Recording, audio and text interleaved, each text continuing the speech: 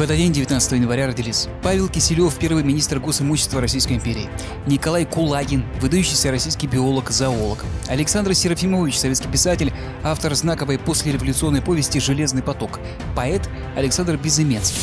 Из всех наших поэтов, писавших о революции, для революции, по поводу революции, Безыменский наиболее органически к ней подходит, ибо он от ее плоти, сын революции. Так описывал коммунист Лев Троцкий творчество Безыменского. В 1916 году уроженец Житомира сбежал в Петроград, принял участие в свержении Временного правительства, примкнул к комсомольскому движению и стал популярным молодежным поэтом. Только за первые 10 лет тираж книг Безыменского достиг миллиона экземпляров, а тематика его произведений колебалась от стихов, эпиграмм, филитонов и частушек и пьес. Хвалили не все. Пьеса «Выстрел», выдержавшая сотню постановок, подверглась разгрому от критиков, в том числе со стороны поэта Маяковского, назвавшего постановку трехчасовым унылым зрелищем, а многочисленные стихи Безыменского – морковным кофе. Читал и «Выстрел», и «День нашей жизни». Ничего ни мелкобуржуазного, ни антипартийного в этих произведениях нет. И то, и другое, особенно «Выстрел», можно считать образцами революционного пролетарского искусства для настоящего времени. Так отвечал завистникам Сталин. Вождь даже выговаривал писателю Фадееву за то, что тот поставил эпиграфом для романа пять строчек из песни Безыменского «Молодая гвардия», а автора не назвал. Впрочем, конфликт в литературных кругах не утихал.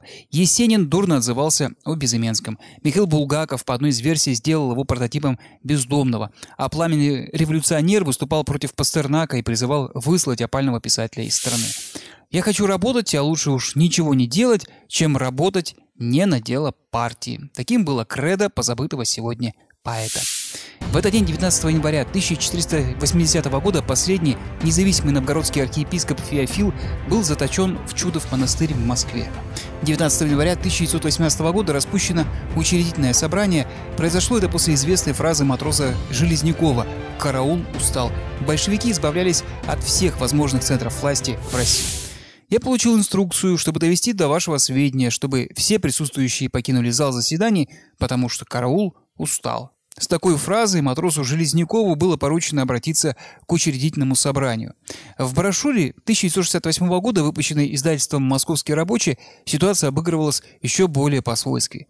Было 4 часа 20 минут. Железняков обошел посты, еще раз напомнил матросам директиву Ленина не позволять никаких насилий над делегатами и твердой поступи вошел в огромный ярко освещенный зал дворца.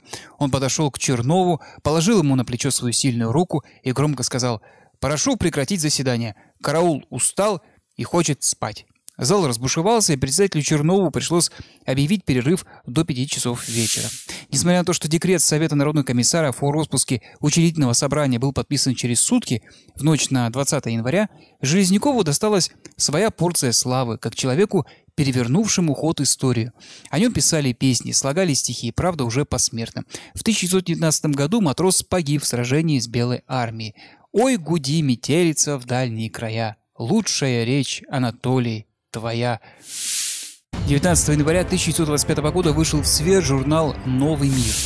Журнал «Новый мир» создавался на базе издательства «Известия». Он был задуман наркомом просвещения Луначарским и редактором Юрием Стекловым как литературный, научно-политический и популярный журнал. В первом номере можно было прочитать публикацию Стеклова о германской интервенции, неопубликованные рукописи Ленина, статьи о ленинградском наводнении, последних достижениях науки и техники, стихотворения, рассказы и отрывки из литературных поэм. Экземпляр из 184 страниц приобретался по подписке в минимальную цену 2 копейки течение десятилетий «Новый мир» планомерно наращивал количество подписчиков от 15 тысяч до почти 3 миллионов в 1990 году, став одним из самых узнаваемых книжных изданий СССР. 19 января 1945 года в ходе Великой Отечественной войны советская армия освободила Краков. Таким был этот день 19 января.